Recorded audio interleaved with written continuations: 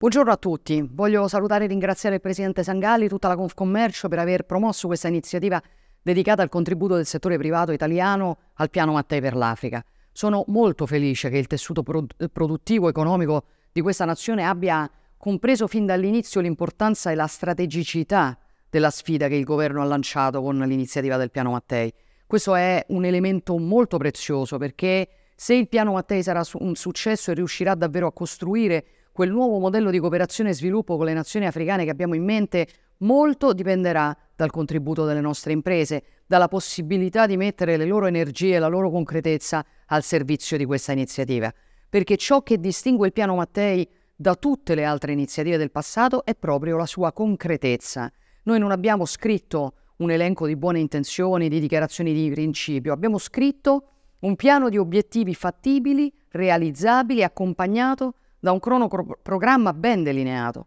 Non avremmo potuto affrontare da, solo, da soli questa sfida, chiaramente. Per questo, quando abbiamo costruito la governance del piano, abbiamo deciso di coinvolgere nella cabina di regia una rappresentanza del sistema Italia molto ampia e articolata,